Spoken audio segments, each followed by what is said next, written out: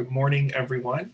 Hello, and hello again to those of you who joined our first session a moment ago. But greetings to the class of 2024 and 2025, our students, parents, family members, and friends.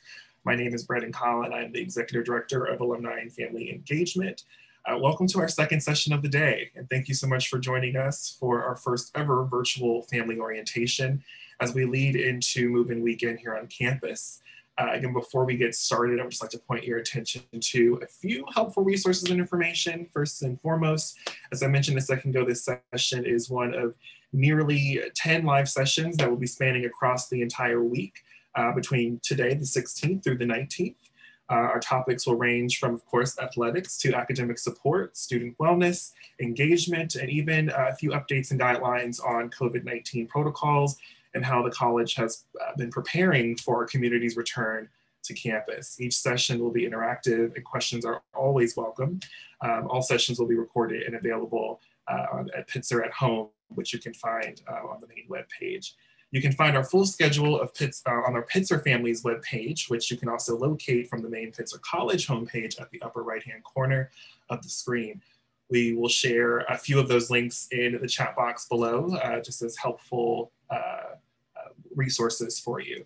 So today we'll be hearing from our lead athletics director for Pomona Pitzer Sagehen Athletics, uh, who is joined today by our student athlete and member of the class of 2022, Riley Knowles. Um, Miriam uh, Merrill officially joined us in the spring of 2020, if you can believe it. I think at that point, we could all use a bit of good news. And when the announcement arrived her, about her appointment, it felt like the official start of an exciting chapter. Uh, Miriam will be sharing a quick overview of her program, some of the exciting things her and her team are working on, um, and what some student, some of our student athletes can look forward to this year. So without further ado, uh, Miriam, thank you so much for joining us. Thanks so much, Brandon. It's great to be with everyone, though I can't see you. Eventually, I will be able to. So what I'm going to do first is just take us through a quick presentation, and then certainly we'll have some time to just chat and answer any questions that you may have. So feel free to start throwing them in the chat or in the Q&A um, if you like. Um, so again, I'm Miriam Merrill, Chair of Physical Education and Director of Pomona Pitzer Athletics, and I am so excited to have my uh, esteemed colleague here, uh, Riley, who's going to assist with uh, questions moving forward. So, all right, so let's talk through what we have that's super exciting. So as you all may know, um, and for those of you who don't know, we are actually in the process of building a brand new athletic wellness uh, and recreation building. And we are so excited. So I'll talk through a few things that you can see here. Um, you know, one of the things in our, our last space was that students just didn't have the space to kind of rec um, have recreation and to do types of fitness activities. So whether it was, um, you know, a bike or treadmills, right? We were really kind of crunched with space. But as you'll see here um, in this area, kind of leading behind this wall here, um, is a fitness area. I'll show a picture that will kind of lead into that. We also have two gyms. So here you'll see Voelkel Gym, which is where our competition space will be for varsity athletics. Um, and then we have this second gym, which is uh, will be a practice gym and also be a space for uh, recreation, club intramurals as well. And, and club intramurals will also have access to a Voelkel gym, but it certainly now is going to be a much bigger space. So here you'll see kind of all of the uh, space for fitness, which again, we're super excited about because that's where kind of the crunch we were feeling. Um, so students, faculty, staff will be able to come over, uh, work out, engage in fitness activities. We'll have studios, we'll have classrooms, where we can really engage in topics um, that relate to fitness and wellness in ways that we haven't been able to before. So here's just an inside picture of the practice gym on the second floor. So as you see, you can have the view of the mountains, which is a really great view uh, and space for us to really just um, have recreation. So a lot of folks have been wondering, well, what are we doing during temporary plans, right? Because we don't have the building. Um, so our athletic offices are now located in the former art museum on Pomona's campus. Um, I recommend you come down and see us. We have flipped it and turned into uh, an office space, which is really kind of fun and lively. Um, there's a temporary space at our Strehle track. So down near the track, there's a small space that has um, cardio equipment, treadmills, uh, and some dumbbells. We also are gonna offer some outdoor fitness classes for students. Um, and then we have uh, Roberts Pavilion, provided that, you know, LA County doesn't have any new um, uh, guidelines that we have to follow, we're hoping to still have access to Roberts Pavilion, which is on CMS's campus. And then as you all know, the Gold Student Center is of access, which is what is exciting for us as well. So this is kind of a picture of the temporary facility that we have down near the track. So as you can see, we have some cardio equipment uh, and weights. And so next I'll kind of move in and talk about athletics. So I imagine that we have quite a few families here that have student athletes. So I wanna talk a little bit more about that. Um, so last year we did some, uh, we had a consultant, outside consultant company come in and help us kind of create um, our core values. And so we've talked to students, student athletes, department members, faculty, staff, and students both on Pomona and Pitzer's campus. And this is what we've come up with. And these are the values that ground us in the work that we do to support our student athletes. So the first one is holistic development. And that really means that regardless of the things that our students are doing on their field, in the pool, in the courts, um, and the courses, all of their spaces. We want to make sure that we are developing our students both mentally, socially, and physically. And so it's more about competition, but it's about student athletes as a whole, so that whenever they leave us, they are feeling like, as a whole person, that they had a really great experience. The next thing I'll talk about is community, right? So it's really important for us to make sure that we are contributing contributing to and working towards a very inclusive and welcoming environment so that our student athletes and anyone who's in our spaces, regardless of the identity, feels as if they are welcome.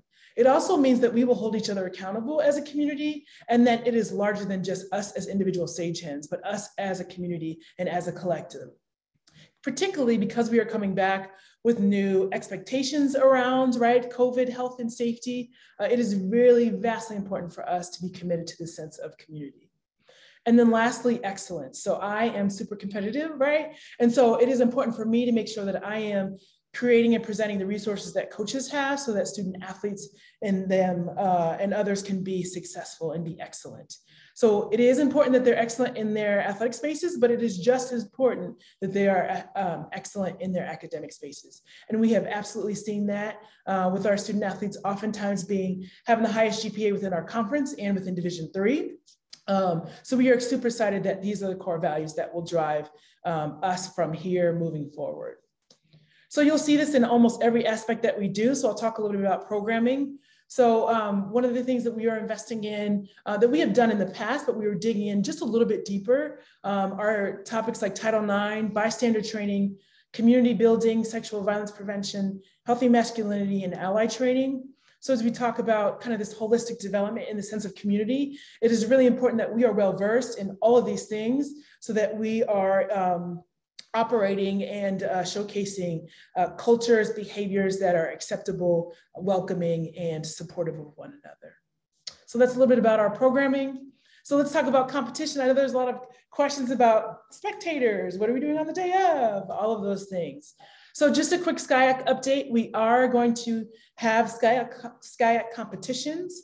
Um, we will ha also have outside of conference competitions as well, provided that nothing changes. Um, but we are really looking forward to being able to get back to the things that we love doing um, this year.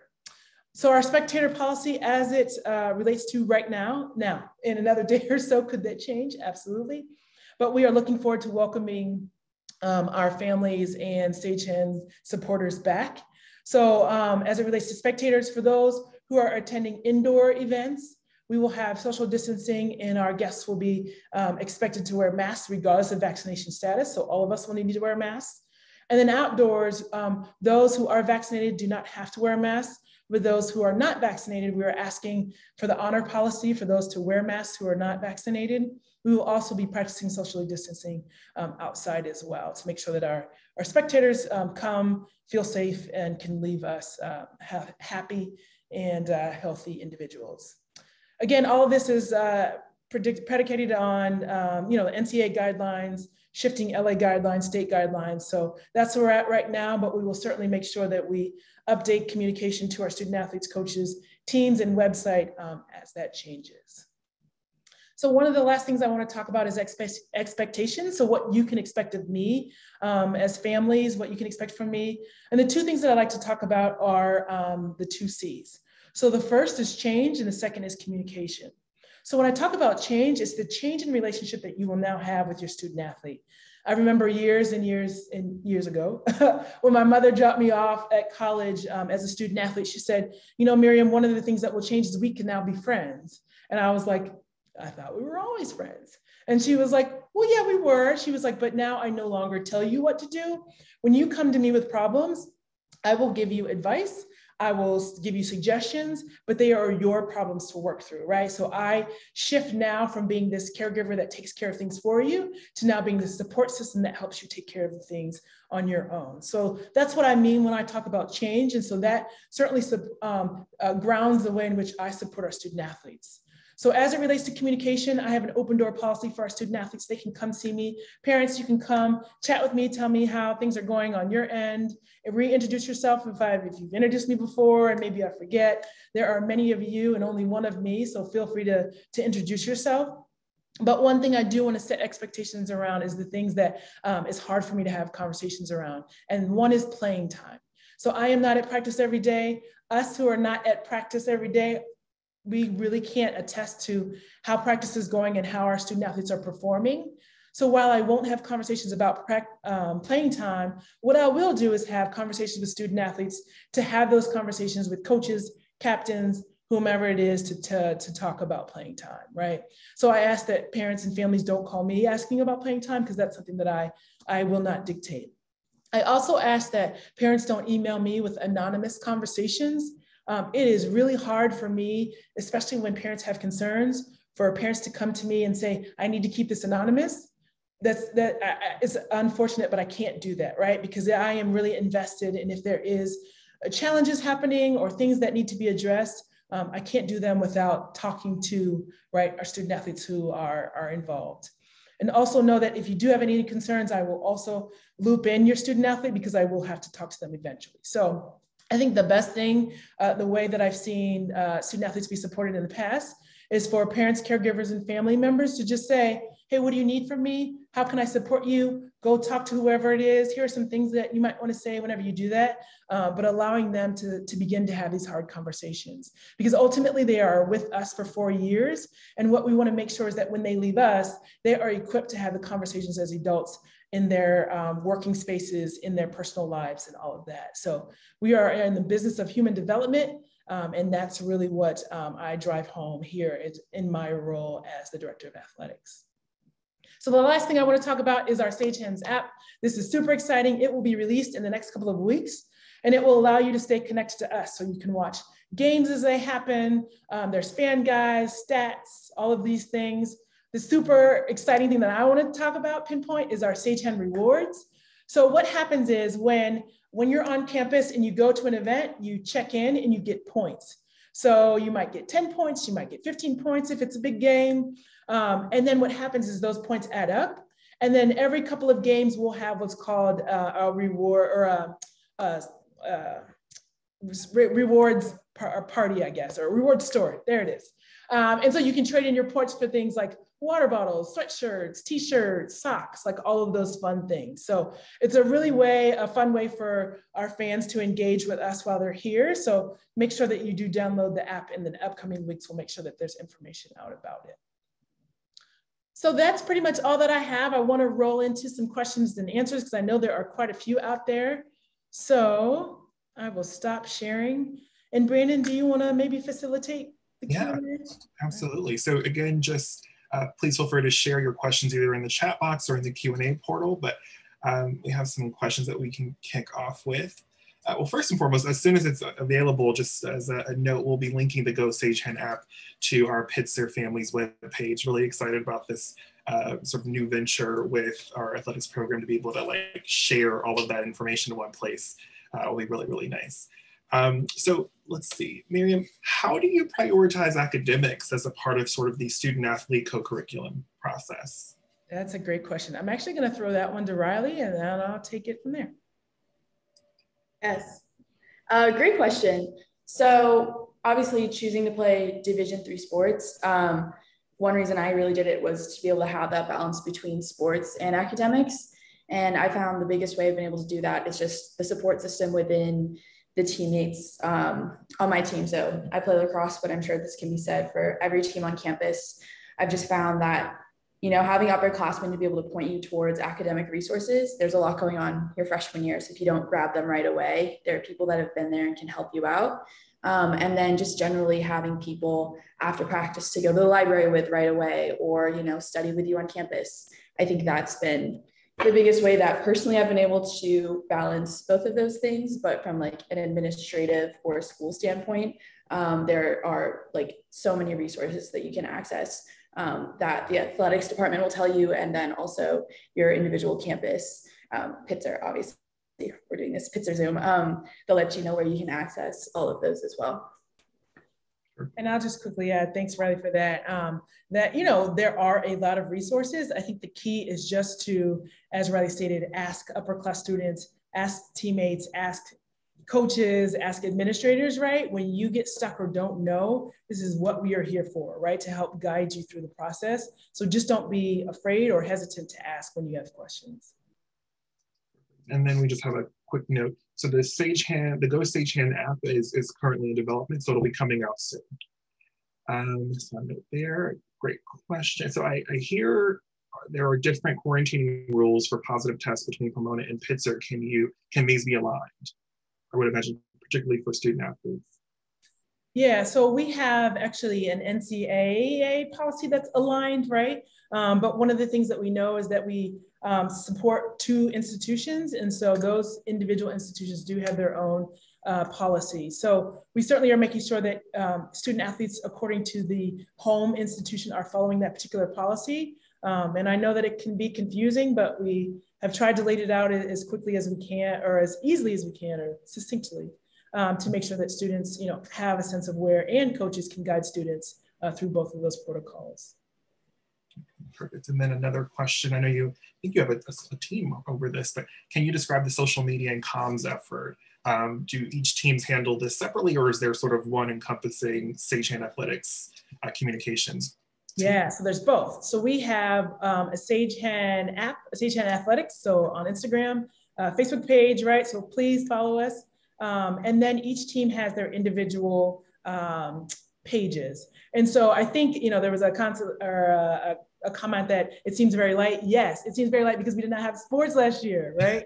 so what we did is we highlighted all of the kind of academic achievements, but without these like weekly games that are happening, it does seem very light. So I understand why that seems to be so, but gosh, what do we have? Three more weeks left, four, and then we're up and running. So I don't know, Riley, if you want to talk a little bit about um, the lacrosse uh, page or how that works, and that might be helpful. Yeah. Yeah, from what I've seen, each team kind of manages their own social media differently. I think my coach is in charge of mine, and it's fun. They kind of take a life of their own. We at Sage Lax on Instagram, if you're interested in checking it out. Um, I think that's fun. And I follow a bunch of other teams, and it's been fun this preseason to start to see the content. Miriam, like you said, like it's starting to pop up, and you see them doing lifts or different workshops. And so that's a fun way to keep up with everything. Perfect. Um, when, do you know when the new sports facility will be open and ready for students to enjoy? Yes, fall of 22. So we are still on task and target. So fall of 22 is when we hope to, to be able to open it up to the community. Perfect. I think that's a perfect segue into a um, question perhaps uh, for Riley. What advice would you give to an incoming student athlete? Perhaps can you share a bit about your experience as a first year joining our community for the first time? Yeah. Um, oh my gosh that was such a long time ago, but it was a blast. I just remember I felt kind of overwhelmed um, and there was a lot going on. But just from the moment I stepped on campus, it was so comforting to know that I had nine other girls in my class that I could find right away and that they were upperclassmen. And they really made an effort to reach out to us. And I'm a spring sport, so we don't get to meet right in the fall, but there were lots of opportunities to meet as a team, and our coach was reaching out. Um, yeah, I think the biggest thing was just that like sense of community I felt right away, despite having not met any of them. Um, and then advice that I would give is just to kind of ask a lot of questions. Like you were saying, one of the like best kept resources are just your upperclassmen and people that are older than you on your team.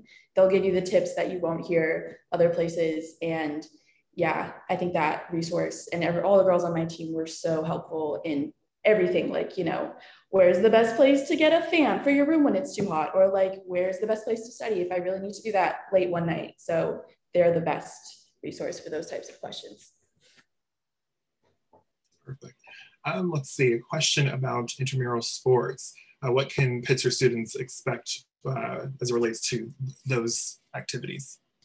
Yeah, so it really just depends on kind of the sport. So, you know, it is really important for us to make sure that we are doing this safely, right? And based on kind of evidence as to what makes sense and what, what we can do safely as it relates to COVID protocols. Um, so what I'll say, generally speaking, is that outdoor kind of intramural sports probably will be able to go, um, but we've got to really think about the ways that we engage in them safely, right? Because we know that intramural sports is 5C.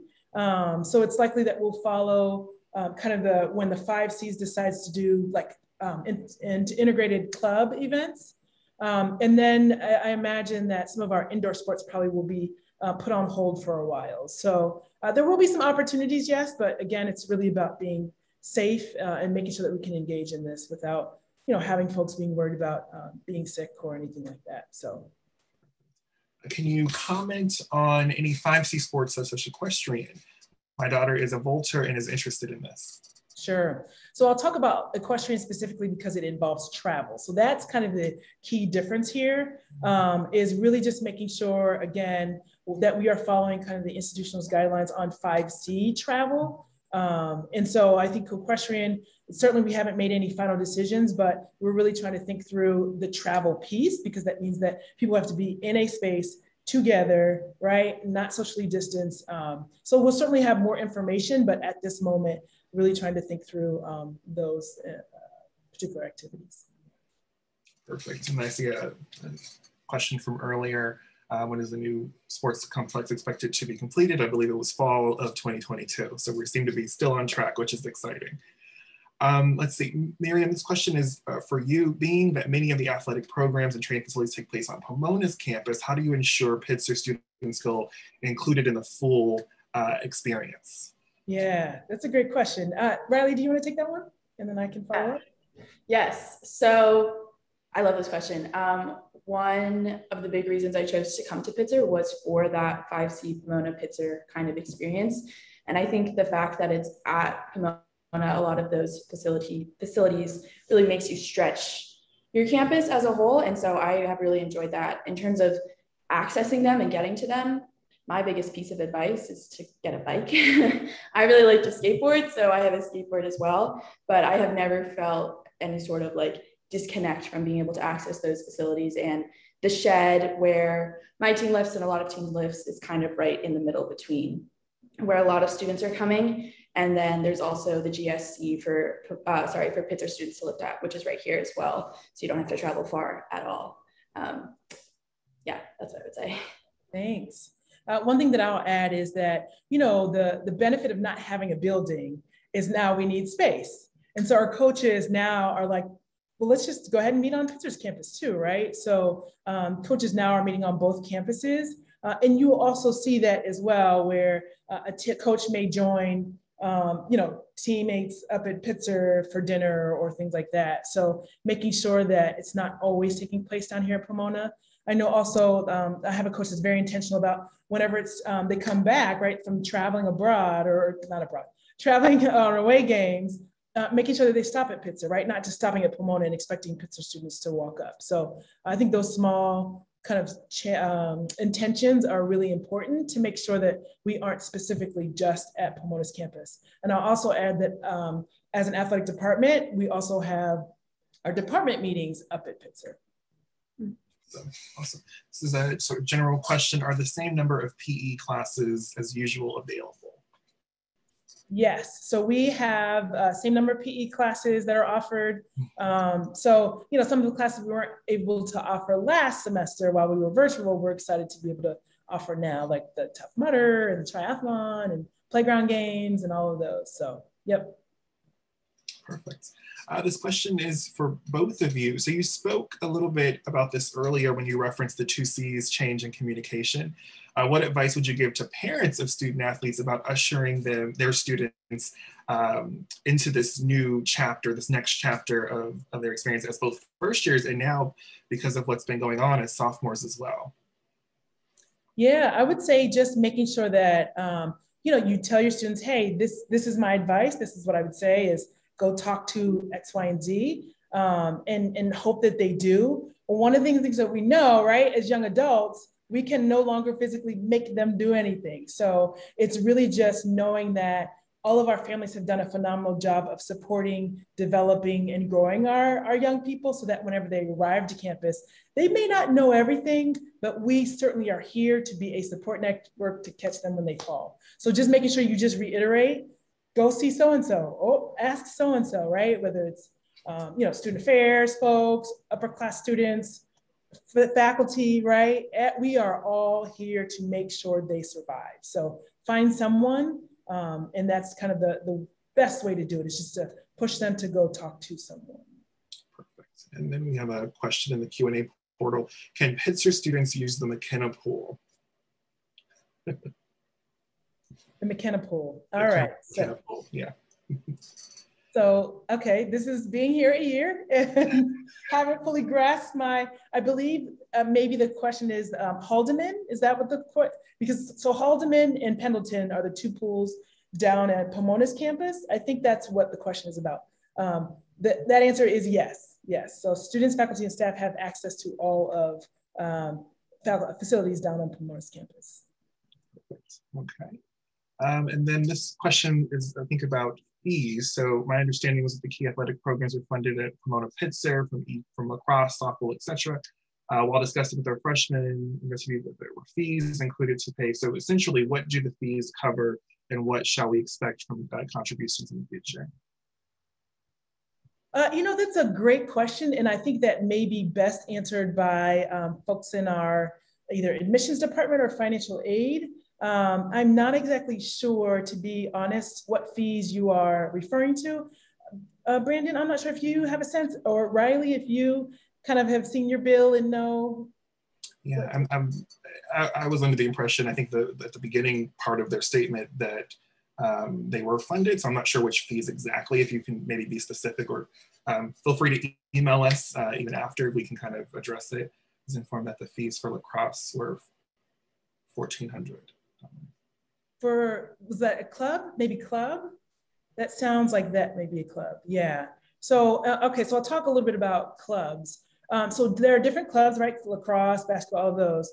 Um, and they actually play um, in the area, right? And then they also have um, championship events that they can qualify for. And so that often includes, you know, travel, food, like all of those types of things. We certainly contribute to some of that, um, but there is, there are some clubs that require additional, right? That's nothing that the athletics department has said, hey, as a club, you need to require additional. It's just as a club, they've gotten together and wanted to do above and beyond what we're able to assist with. And so they are, are charging additional fees. I, I think that's what this question is about. Okay. Uh, Riley, this question is directed toward you. So what, how have your, his, you and your teammates been able to stay connected um, while apart during the last uh, year and a half? Yeah. Great question. It has definitely been difficult not being able to see them every single day. Um, I just moved back into campus three days ago, and now two of my teammates are in this suite with me, and it's like an incredible feeling to be back with them. But um, we had a lot of Zooms in the fall. We did different team activities, and on my team, we have, they're called little hen families. That would be like an upperclassman and a few underclassmen. Um, and so we did Zooms with them, and we had group chats, and we have a whole team group chat right now to try and get us all connected um, before we all arrive so we can plan different events to get to know each other sorry get to know everybody because half of our team have never met before um, but yeah it definitely has been a little weird and challenging as it has been to stay in touch with everyone i think that my team has done the best that we can and we're just so excited to get them all in one place very soon okay um, let's see, Miriam, this question might be for you. So what has uh, you and your team uh, under the Sagehen Athletics umbrella perhaps learned over the past year and a half that you found to be invaluable as you're planning for the year ahead? Yeah, a lot. yes. I think one of the things is just don't take um, the experience for granted, right? Like we all just assumed we would always be playing, coaching, supporting, right, student athletes in their particular sports. Um, so to not take that for granted. And I think that, you know, as our student, our fall student athletes have returned, and that is one thing that I have sensed from them is that they no longer going to take this for granted, right? So as we talk about, ah, now we have to shift and we've got to, you know, wear masks and do this and that, or and test more. And students are just like, okay, right? Like this is what we have to do in order to be back, and we would rather be back. So I think that's one thing. So being flexible is also another. One thing I'll talk about as it relates to physical education is what we learned is um, we offered some classes asynchronously. And our ultimate goal is to have students moving their bodies, right? In any shape and form, whether it's taking a class, whether it's taking spin class or something like that. Um, you know, we just want to make sure they are moving their bodies. And what we found is that there's a small population of students who um, really benefited from asynchronous and doing kind of workouts on their own, reporting journals. And so if that is a way that we can engage students, right? And we won't offer all class, it'll probably be a small class, you know, full of maybe four or five, and we'll cap it at four or five students, but being able to um, meet students where they're at, because some students were like, I don't like to go in and work out in front of a bunch of people or to check in, right? And so if there's a way for us to offer that, so that students can engage in moving their bodies. That's something we're um, absolutely thinking about moving forward. I see a question here. What are some of the best ways for students interested in joining sports to get in contact with their coaches or teams? Yeah, so if you are interested in joining a team, then you can go to sagehens.com and email the coach to let them know. Um, what I would also say is um, if club and intramurals is something you're interested in, right? Because if varsity athletics isn't it, um, there are other opportunities to stay engaged. Um, there is what's called the turf dinner that happens in September, um, where we will set up a table and uh, talk about all the sports and intramural clubs uh, programs that we offer. And that's a great way to get involved uh, as well. Perfect. And I just linked the Sage Athletics website into the chat. Um, question for Riley. How do you juggle your coursework and practice and games? Do you feel supported in that balance from staff, faculty, and your teammates? Mm-hmm. Yeah, so often I hear like the same consensus among a lot of student athletes, and that's I perform better in the classroom or I just like manage my time better when I'm in season. Um, because between practice schedules and then I have a job here on campus as well, there's less time to do that work. And so you have to be really productive in that time. So I found that has been a really helpful structure in my life to stay on top of things. Um, and then in the fall as well, we do lifts um, and we have captain's practices. And I'm also just trying to stay on top of my own fitness. So it's just being able to juggle your time. It's funny, I have this great planner right here. I would recommend a planner to every student athlete to be able to say, or any student in general, write down, figure out what blocks of time you have to focus on either yourself or different work or when you have classes, when you have practice, and then being able to like actually write your action items for what you're trying to get done. That's been how I've done it. And how I feel supported is, I think I mentioned this earlier, like no one, if I tell a teammate, hey, I need to go to the library tonight, I can't go by myself because I won't get anything done. They're like, done, I'm there. And they'll, they'll sit with you the whole time. Um, your coaches are really understanding if you have a lab or something that means you'll be at practice late, you'll never not miss a lab. Like you will go to lab and then you'll go to your practice. Um, if you've got a lot of finals going on, anything like that, they're just very understanding and they understand that you're a student first and then you're an athlete. And I think that just is a consensus amongst everybody, all the athletes here. It's like, I'm here to do school and work really hard in school, and I'm here to work really hard on the field, and I can do both of them. I need I need some tips on how to prioritize from you. I think get a get a passion planner. This is my favorite one. nice, nice. Yeah. Um, look, as Miriam, in your first, so you obviously you entered into our community um, in 2020, in your first sort of 90 days, 60 days, or even a year. What would you say became some of your biggest priorities? Perhaps you can elaborate on the mission to core values uh, exercise that you've been doing with your administrators and coaches.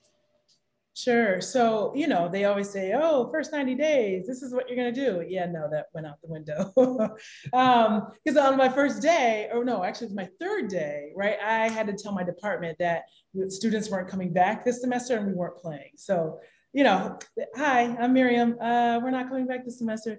Um, but yeah, so that was definitely tough. But I think one of the things that I really appreciate and that we kind of dug our heels into is all of this other thing, all these other things that we talk about that are really important, right? So this holistic development.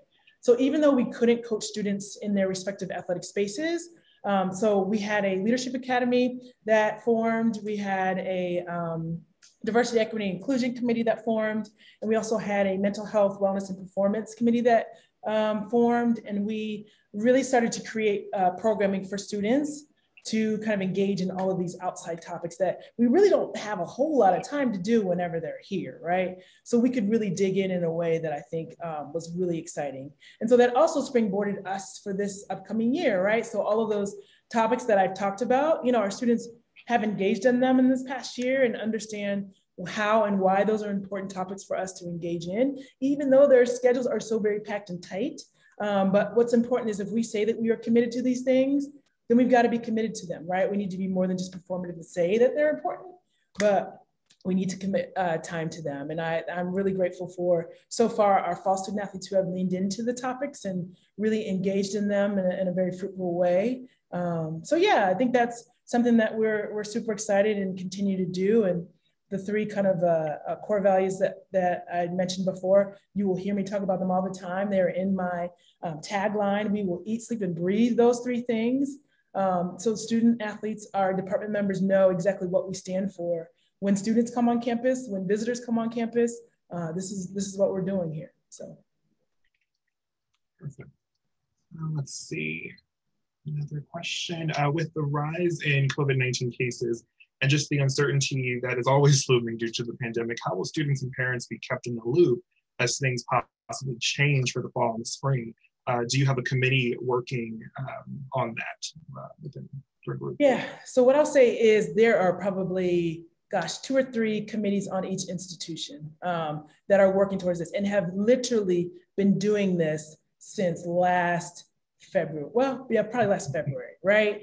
And so I think, and the, the interesting thing is because the information shifts so much and so quickly, like committees get together and we think that we're ahead and this is where we're going and then LA County says something else and then we've got to shift and change and then what does that mean for this group right and so I think uh, oftentimes it feels as if the information is not being shared and that nothing is happening but I can absolutely assure you my colleagues are living sleeping eating and breathing this day and night um, to make sure that we are getting it right. And that's the key, right? Is that we want to make sure that we get it right. Now, might there be something that we don't get right? Probably. This is the first time we're all doing this uh, through a pandemic. So we'll mess some things up. But one of the things that we ask, and I've asked of our student athletes, of our coaches, uh, and that we ask of our families and, and, and parents is to just be patient, right? So if something doesn't seem right or um, you've got a differing opinion that, you know, you feel like it's probably better, certainly share that. We are open to ideas, uh, but just know that we are using um, evidence to make decisions um, and having conversations that impact all different departments to make sure that we are keeping our community and students safe. Um, I think this question could perhaps be uh, directed to both of you. Um, so we know that students and student athletes are bal balancing, excuse me, a lot right now. How do you support student wellness and mental health throughout the year? You want to go first or you want me to go first? Uh, you can go. Okay. Um, so yeah, so we have um, drop-in hours for our student athletes there so they can meet with um, their respective deans and also um, uh, Stephanie, who is in uh, student affairs department. So there are drop-in hours where students can just come in and talk about whatever it is. Um, we also have access to, to 5C Health, right? So that plan is also a way for students to kind of engage in those uh, conversations. One thing that I'll also say is we continue to educate our coaches on how to be supportive around that. And um, I have yet to find a coach who has said, you know, if a student athlete says, today I, I can't do it, that a coach is like, suck it up, right? We realize that that is no longer the way in which we operate, and that's not my expectations um, having a PhD in sports psychology has really helped shape me and my expectations for my department. And so mental wellness is absolutely at the forefront of that. So I think that we can, you know, it, what, what we really need students to know is that, again, we're here to support. So when things get heavy, tough, if it's not a coach, it's a student athlete or another student or faculty member that can help guide them through this process because no one should absolutely do this alone at all. Um, yeah, um, I'm a member of the Student Athlete Advisory Committee for Pomona Pitzer, PP, PPSAC on Instagram. And um, one, that's a great way to get involved with the Pomona Pitzer athletics community as a student because you get to meet a lot of different students from different sports, all working towards goals such as this. Um, there's a whole committee dedicated to mental health and wellness, and they were really, we were really active um, in the fall. I took the spring semester off. I did a NOLS trip, if you're familiar with it so I don't really know what was going on because I was in the woods. But in the fall, we met weekly on Zoom and we had a lot of conversations about ways that we could engage the student athlete um, community and making sure that everyone was staying well, um, providing different resources and outreach, especially during this time because it's been really difficult having you know that outlet of sport being taken away from you. Um, so that's one way I feel supported, and I know that there are other student athletes working to help the broader community to feel supported as well. And then within your own team, it's definitely a conversation every team is having. And I think it's framed differently now because of COVID. And we've all been through a lot in the past 16 months. Um, but yeah, from the moment I met with my team, I realized it was something that they all really valued, that my coach really valued. And it's a conversation that we just keep on having. Thank you so much. So I, um, I, think this will be our last question. So in addition to games, are there events, tailgates, programs that parents can possibly look forward to this fall or spring? Yeah, so as it relates to tailgates, you know, again, it's about making sure that we are safe and doing it well. So we'll probably roll out some information on that coming up. But absolutely, right? We'd love to have parents, families around engaging, um, saying hello, cheering us on, being, you know, good and loud supporters in the stands. Um, so we absolutely will, will welcome that. I think there's also, you know, opportunities if there are ways in which that you want to get involved. Some teams have um, parent groups that support the team, so that's always a way. Um, but yeah, by all means, if you've got some ideas and thoughts, um, you know, throw it out and, and we'll see where we can take it. I would add, um, I'm from Philadelphia, so my parents come out to maybe one game a year. But in the meantime, they have a little Pomona Pitzer pennant that they pin under their TV and they watch the live streams. So if you're not in Claremont, if you're far from California, do that and um, send your student a picture of the screen because it makes my day every time. My pop-up does it too. He loves he loves lacrosse. Love it. That's a great point. Yes, our streaming is is available to stay connected. Yeah and we love seeing it in the parent office as well. Um, so any, as we wrap up, any parting words or words of advice for student athletes and, or, and or parents of student athletes as we enter into this next chapter? Sure. Um, you know, I am just super excited to be able to be around students again and student athletes and parents. So please come see us. Certainly, if you have questions, reach out. Uh, we are here to make sure that you are successful in all of the avenues of who you are um, and look forward to in just a couple of weeks being able to say hello in person. Riley? Yeah, I would just say this is so exciting um, to have new student athletes on campus. And it's just the best feeling ever. I miss lining up with my team for our warm-ups. I can't wait to get back to that. We're just chatting and goofing around and everything. And it's just an incredible community to be a part of, especially at Pitzer. I found that athletes here have so much going on outside of athletics, like incredible passions and hobbies. And I just, it's great to get to know everybody. And I'm so thrilled to be back. Perfect. Well, thank you both so much, Miriam and Riley, for joining us today. And thank you to all of our incoming parents and family members for also tuning in this morning. We look forward to seeing many of you this weekend uh, for our move in weekend.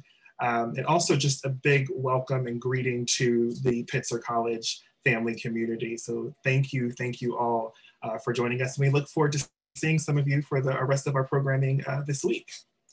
So take care. Thank, thank you, you all. Everyone. Thank you.